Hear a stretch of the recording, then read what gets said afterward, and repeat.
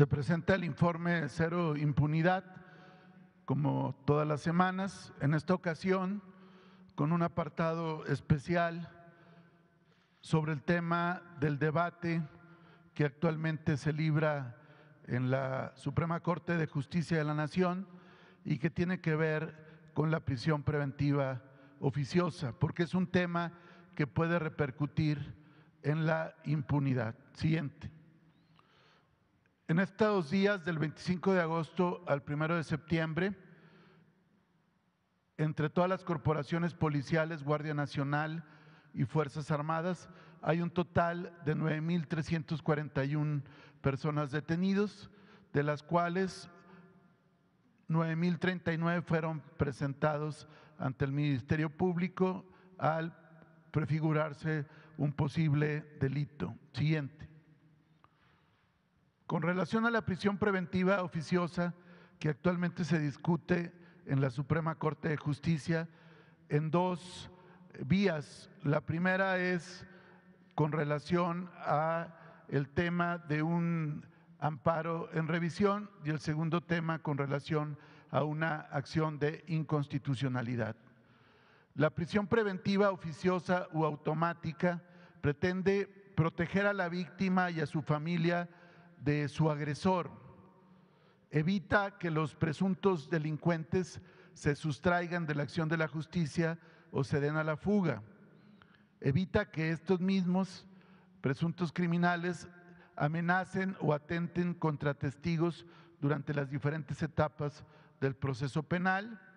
Evita la reincidencia y prevé la comisión de futuros delitos en contra de la sociedad.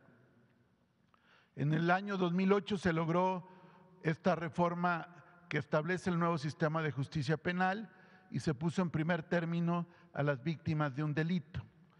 Entre otros delitos que ameritan la prisión preventiva oficiosa u automática que establece el artículo 19 de nuestra Constitución, están los delitos de abuso o violencia sexual contra menores, delincuencia organizada, homicidio doloso, feminicidio, violación, secuestro, trata de personas, robo a casa habitación, la utilización de programas sociales con fines electorales para alterar la voluntad ciudadana, la corrupción como enriquecimiento ilícito, el robo al autotransporte de carga, todos los delitos que tienen que ver con el llamado huachicol, el robo de hidrocarburos, los, los delitos violentos cometidos con armas de fuego, la portación y utilización de armas de fuego y explosivos de uso exclusivo para el ejército, la armada y la fuerza aérea y aquellos delitos que atenten contra la seguridad de la nación. Siguiente. La prisión preventiva ha sido una figura establecida en nuestra Constitución desde el constituyente, desde el constituyente originario de 1917, cuando se promulga la Carta Magna que actualmente rige el país, y ahí se contemplaba la prisión preventiva por los delitos que merecieran pena privativa de la libertad, con pena de mayor a los cinco años. En subsecuentes reformas se mantuvo esta figura, estableciendo, por ejemplo, que aplicaría para delitos con una pena cuyo término medio aritmético fuera mayor de cinco años de prisión. En el 85 se incluyó esta figura en diferentes modalidades relativas a diversos delitos. En el 93 se establece que esta figura atendería más que a la duración de la pena por la gravedad del delito, prohibiendo expresamente el beneficio de la libertad bajo caución a quienes fueran presuntos responsables de esos delitos. En la reforma del 2008 se decide mantener la prisión preventiva como una medida cautelar y se subdivide en dos tipos de prisión preventiva. La justificada, que es cuando el Ministerio Público la pide por delitos que la legislación no considera suficientemente graves, y la oficiosa o automática, cuando el delito es de tal gravedad que amerita que el presunto criminal lleve el proceso penal en reclusión. Hubo reformas posteriores en 2011 y 2019, pero con la finalidad de incrementar los delitos que ameritaran esta figura de la prisión preventiva oficiosa. Siguiente. Esta reforma se aprobó en el 2008 con 482 votos a favor en la Cámara de Diputados y con 73 votos a favor en la Cámara de Senadores. Fue un dictamen que presentaron diferentes comisiones de justicia, gobernación y seguridad pública, entre otras. Siguiente. Entre otros legisladores de la época, en el caso de la Cámara de Diputados, por el lado del PAN, destacan, entre otros, la hoy gobernadora María Eugenia Campos, el exsecretario de Gobernación Diodoro Carrasco, Héctor Larios Córdoba, dirigente del PAN, entre otros. Por el lado del PRI, el exgobernador de Tlaxcala, Mariano González Arur, el gobernador de Durango, José Rosa Saispuro, Beatriz Pajes, el dirigente sindical Ricardo Aldana, el dirigente de la burocracia federal, Joel Ayala, y el exdirigente del PRI, César Camacho Quiroz. Siguiente. En la Cámara de Senadores, por el PAN, Marco Cortés, Santiago Krill Miranda, actual presidente de la mesa directiva de la Cámara de Diputados, Gustavo Madero, exdirigente nacional, y el exgobernador Guillermo Padres, que ha enfrentado diferentes cargos con la justicia. En el caso del PRI, Manlio Fabio Beltrones, el exsecretario de Energía Pedro Joaquín Caldwell, el ex candidato presidencial Francisco Labastido Ochoa, Jesús Murillo Caram es procurador y el actual dirigente Alejandro Moreno Cárdenas. Siguiente. La reforma en la parte que nos interesa, que es la prisión preventiva, establece dos tipos de figura en el segundo párrafo del artículo 19 constitucional, párrafo que no ha sido modificado en las subsecuentes reformas. Y esta es la prisión justificada. Es cuando el Ministerio Público solicita al juez la medida cautelar de la prisión preventiva cuando considera que otras medidas, como podría ser el brazalete o acudir cada 15 días a firmar a un centro de justicia penal, cuando consideran que no son suficientes para garantizar que el imputado comparezca, eh, la investigación, la protección de la víctima o los testigos, o cuando ya se le haya procesado o sentenciado por otros delitos eh, de carácter doloso. Aquí es justificada porque el Ministerio Público tiene que justificar en cada caso contra cada uno de los imputados. Siguiente.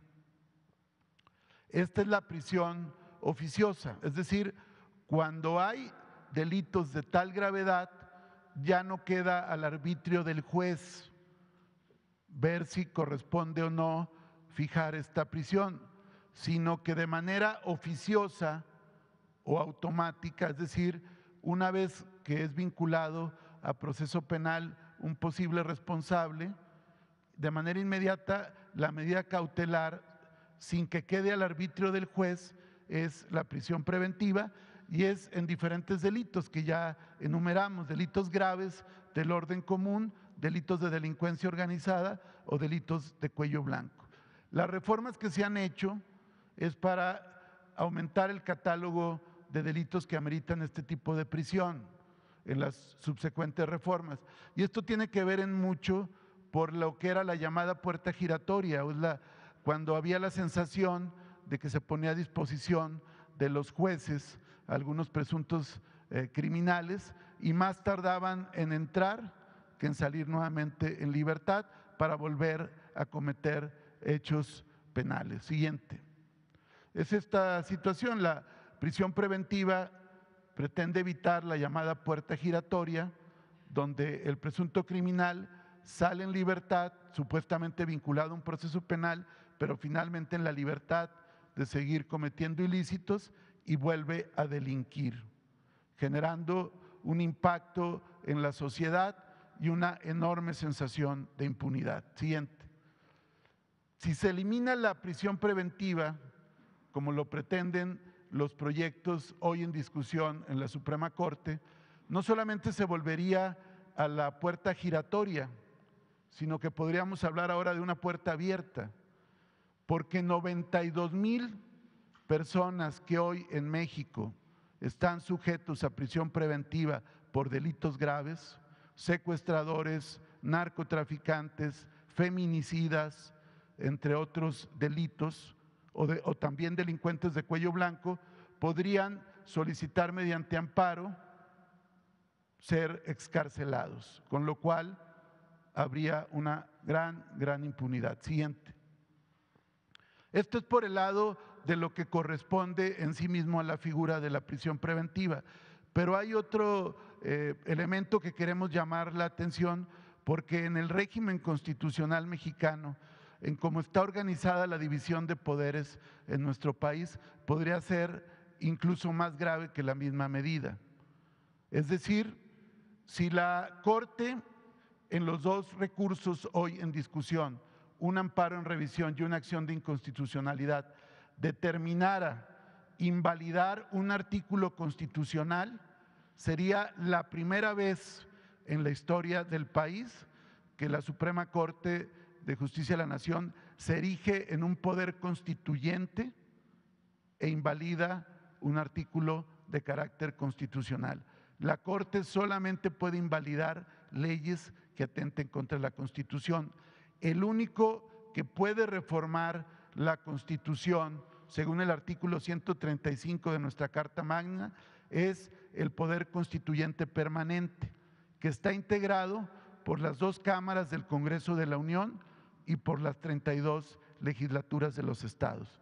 Y la Constitución mexicana es la ley suprema de la nación, y la Suprema Corte no puede legislar, invalidar, inaplicar algún artículo de nuestra Constitución. Siguiente. El amparo en revisión que la Corte va a resolver, por cierto, tiene que ver con un amparo promovido por Brandon Alexis N. y Alejandro N., hermano y tío de Óscar Andrés, alias El Lunares líder del grupo criminal conocido como Unión Tepito.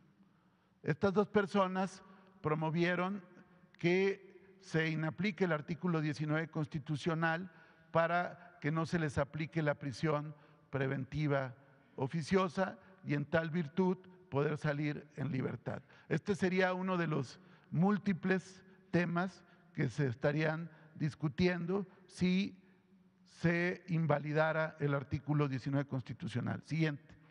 Ahora bien, sobre algunas eh, decisiones de los jueces locales y federales que han repercutido en la impunidad y en la inseguridad, vamos a revisar algunos. El caso de Rafael Caro.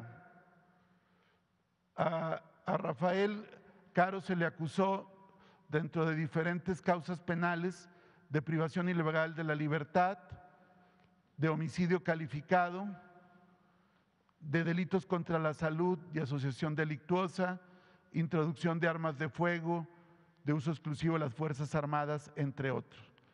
Por estos delitos, en 2000 eh, se estableció una primer sentencia en primera instancia que determinó que se le acumularían 40 años de prisión esto fue el juez cuarto de distrito en materia penal en Jalisco. Siguiente. La defensa de Rafael se impugnó esta resolución logrando modificar la sentencia y en un primer momento lo absolvieron de delitos contra la salud, introducción de armas y asociación delictuosa.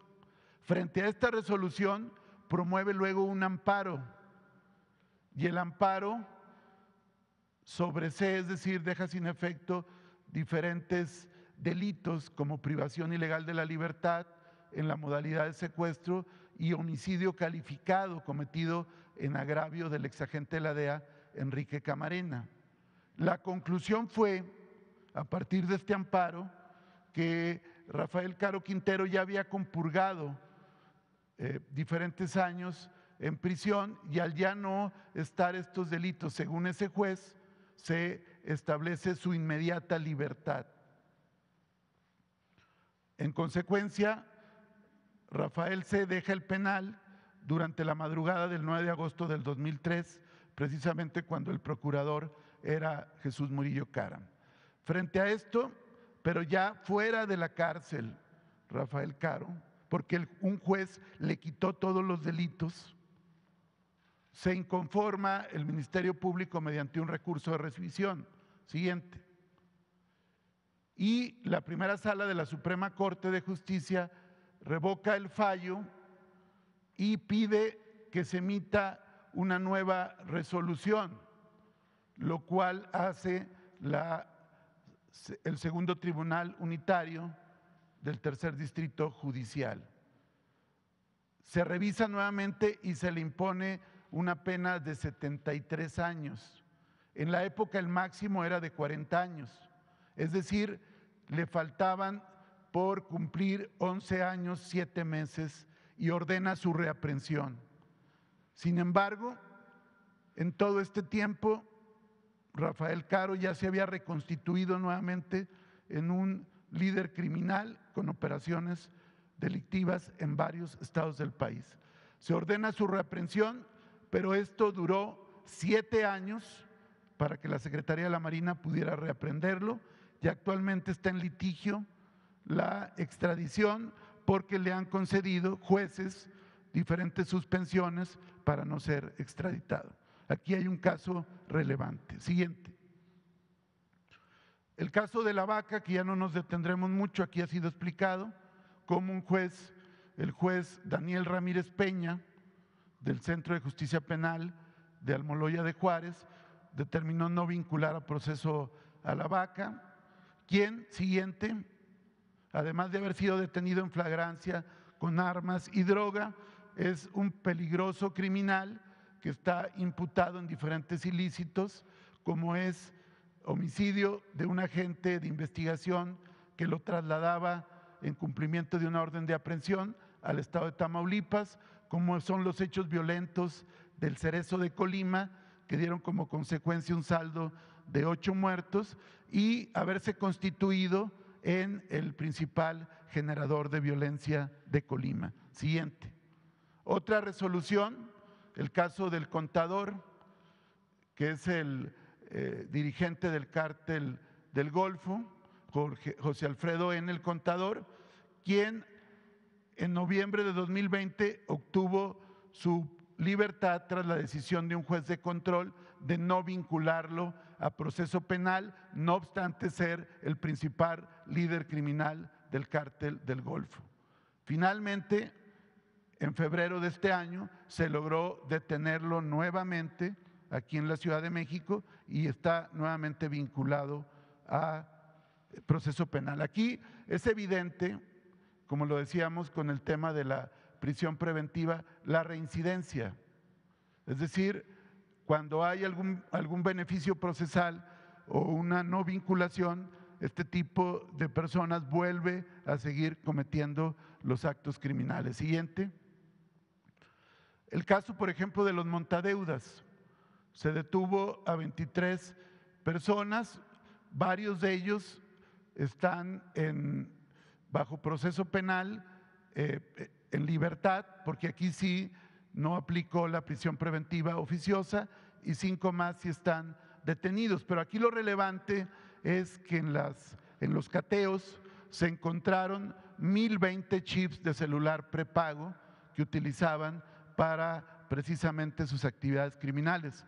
Como ustedes recordarán, un juez, el juez Juan Pablo Gómez Fierro, ante todos los requerimientos del tema de los chips de celular, autorizó innumerables suspensiones provisionales para no eh, implicar esta ley. Finalmente la Corte, hay que decirlo, la Corte invalidó la ley que pretendía regular el uso de los chips de prepago para actividades criminales.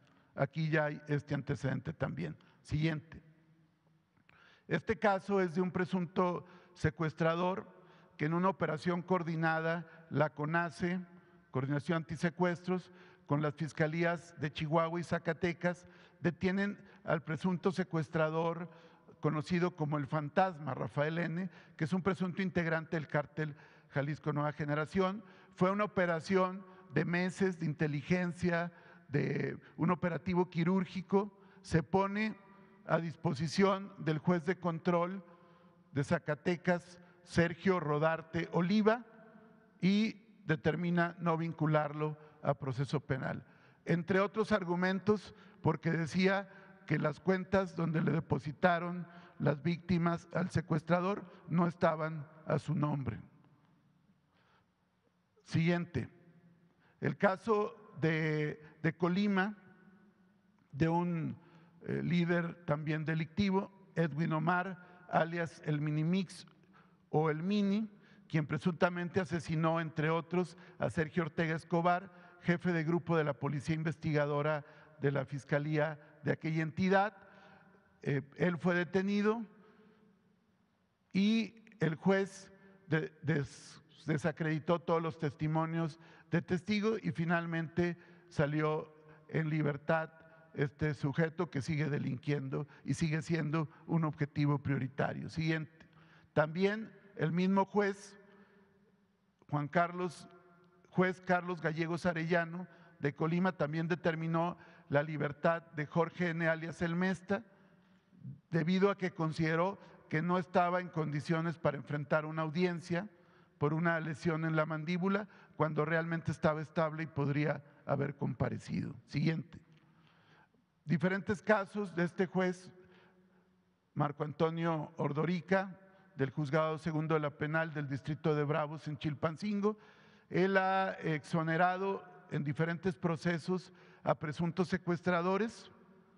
Luego después el Tribunal Superior revierte la sentencia, pide la recaptura en virtud de que efectivamente sí estaban involucrados en secuestros, pero estos individuos ya estaban muy fuera del brazo de la justicia y siguen cometiendo secuestros. Siguiente.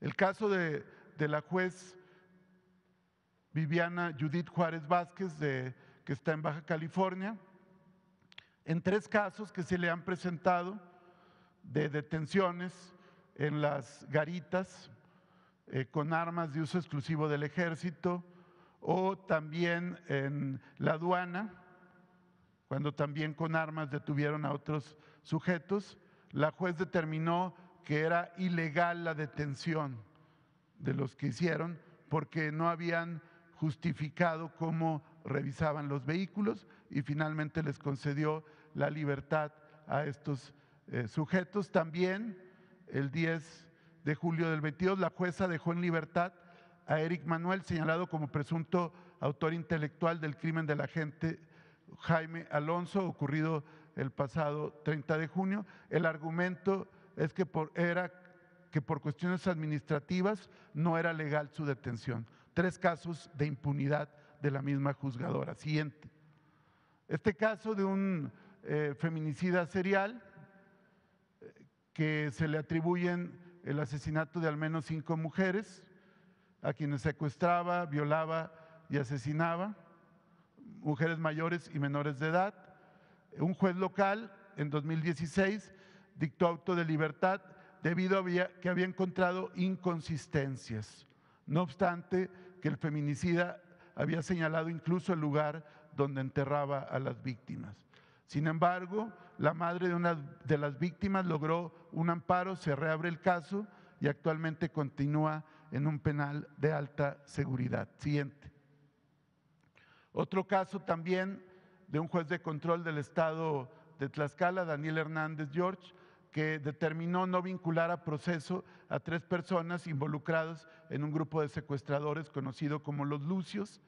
Eh, determina eh, otorgarles la libertad, no obstante que están involucrados en diferentes ilícitos y secuestros en los estados de Morelos, Puebla y Tlaxcala, y hay diversas carpetas de investigación abiertas todavía. El juez determinó no vincularlos a proceso penal, no obstante todos los elementos aportados por el Ministerio Público. Siguiente.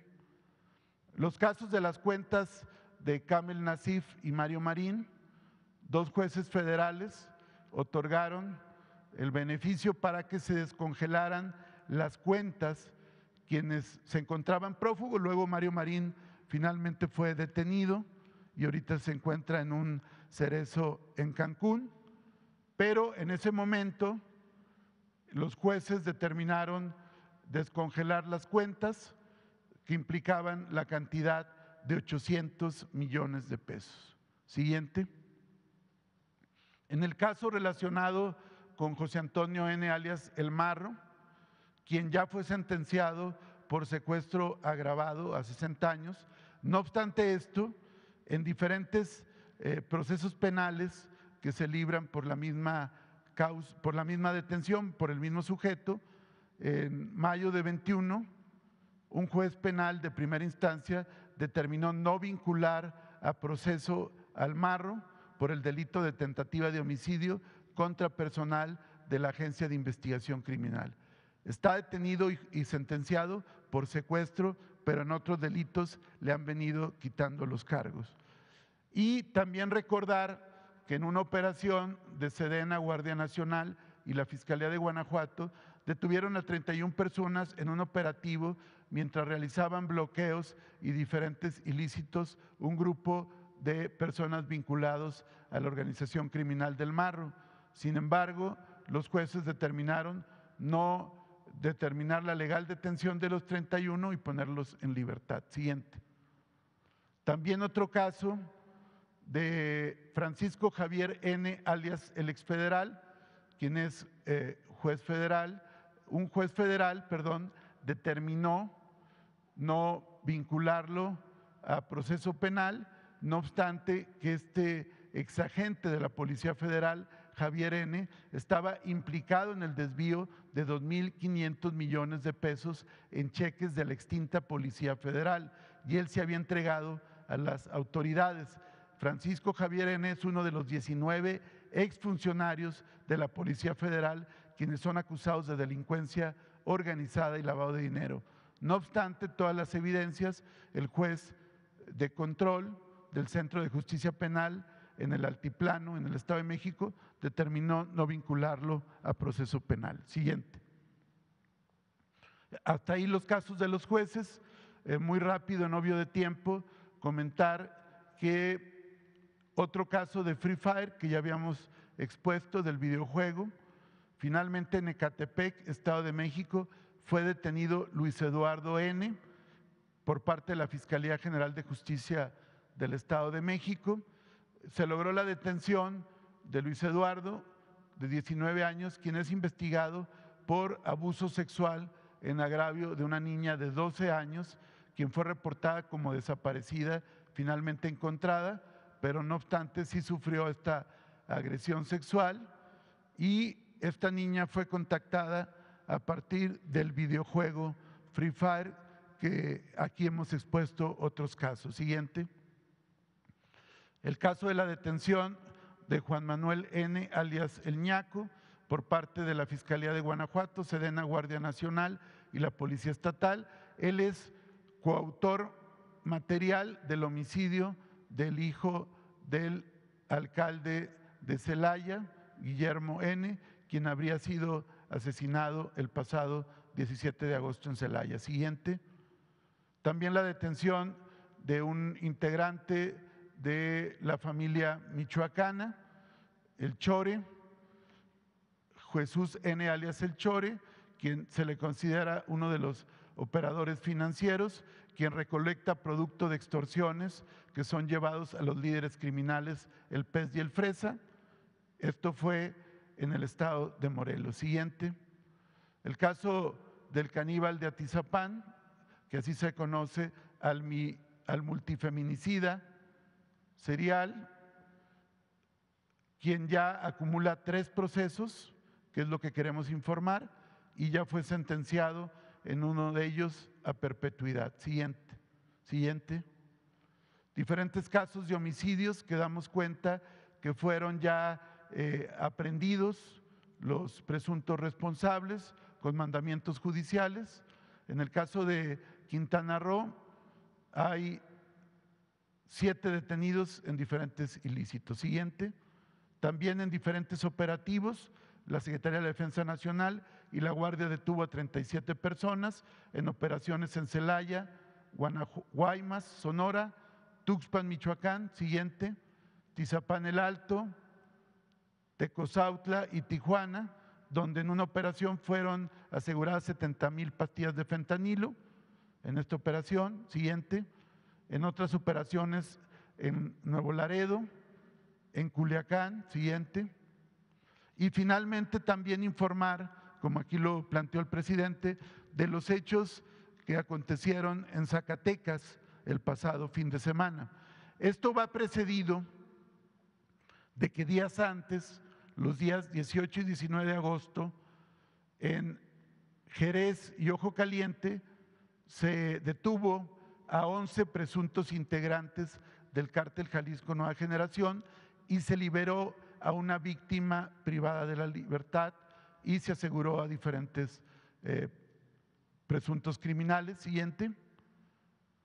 11 en total, dos en el operativo y nueve más, todos presuntos integrantes del cártel Jalisco Nueva Generación. Siguiente. Este fue un primer hecho. Después de este hecho y con motivo del seguimiento, se realizó una orden de cateo que dio como consecuencia que se detuviera a cinco sujetos y se aseguraran armas y droga. Como resultado de este cateo, entre otras razones, grupos delictivos hicieron diferentes incendios en tramos carreteros entre Fresnillo y Jerez y también en Valparaíso. Sin embargo, precisar que fueron cinco detenidos en el cateo que se les aseguraron armas y droga de diferentes características. Siguiente. Y después, con motivo de estos eventos, en Valparaíso, Zacatecas, el ejército mexicano detuvo a nueve, a seis individuos que fueron presentados ante la Fiscalía General de la República, en principio ante la delegación y después a través de la Fiscalía especializada en materia de delincuencia organizada y ya fueron vinculados estos seis sujetos por diferentes eventos de carácter delictivo. Es decir, de estos hechos que derivaron en diferentes eh, incendios de vehículos y bloqueos, hay 11 detenidos. Siguiente. En cuanto a feminicidios resueltos, del 25 de agosto al 31 de agosto, hay 12 detenidos, 5 sentenciados, uno en la Ciudad de México, uno en el Estado de México, uno en Guanajuato, uno en Jalisco, dos en Baja California Sur, dos en Baja California, dos en Puebla, uno con sentencia y dos sentenciados en Chihuahua. Siguiente. También informar que con relación a la noticia que se dio a conocer de la posible eh, hallazgo de Cándida Cristal Vázquez, locutora y directora de comunicación de la Policía de Mazatlán, informar que el cuerpo que se encontró el pasado 27 de agosto no corresponde al de la locutora de radio, según diferentes peritajes, entre otros la prueba de ADN. No obstante ello, en virtud de que hay un, un cuerpo y sigue desaparecida la locutora, continúan abiertas las carpetas de investigación por desaparición y una más por el feminicidio de la persona localizada en días pasados en Mazatlán. Continuamos con el reporte de periodistas que han sido privados de la vida. En la actualidad hay 32 detenidos o buscados de 13 casos que se han presentado este año y 24 vinculados a procesos. ¿Sería cuánto? Le paso la palabra a Jesús Ramírez.